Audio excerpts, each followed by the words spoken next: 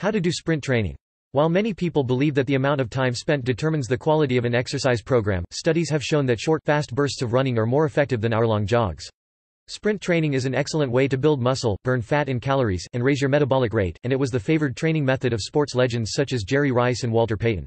One of the best things about it is that you can do this training in only a few minutes a day, a couple of times a week, which will save you time over traditional forms of exercise.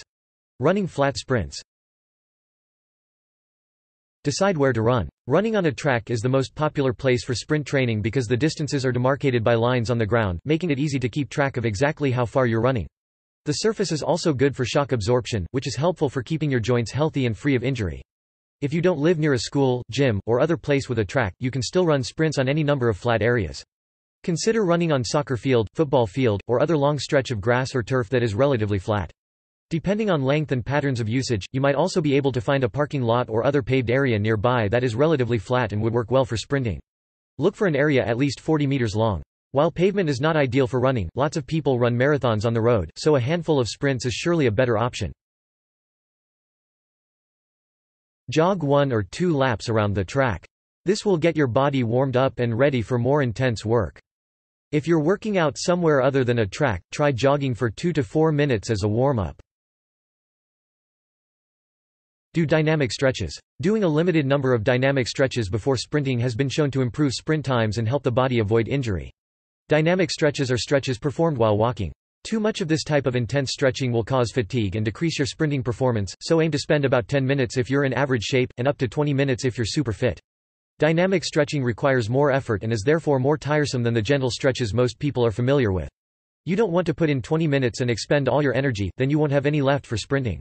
Try these different stretches, gluteals, walking high knees, hamstrings toy soldiers or Frankensteins, adductors, hurdlers walk, quadriceps butt kickers, and gastrocnemius, tiptoe walking, too. Determine your desired sprint time, length. 30 seconds is a good starting time, so long as you have a stopwatch or other device that can alert you when the time is up. Once you improve your stamina and speed, you can increase to longer time periods. If you don't have an appropriate timing device, trying sprinting for about 200 meters.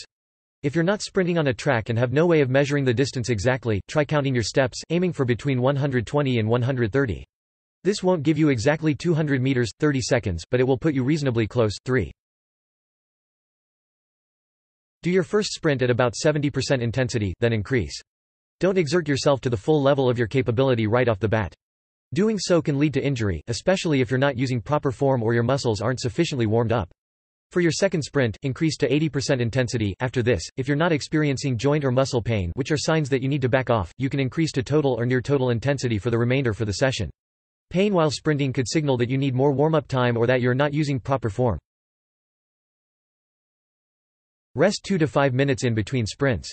You need rest between sprints so that your body can recover and you can sprint at the same speed multiple times. You should rest 3 seconds for every 1 second that you sprinted. So, for example, if you sprinted for 30 seconds, you should rest for 90 seconds, if you sprinted for 60 seconds, rest for 3 minutes. Walking should be your form of rest, not sitting or standing. This will keep your muscles from cramping.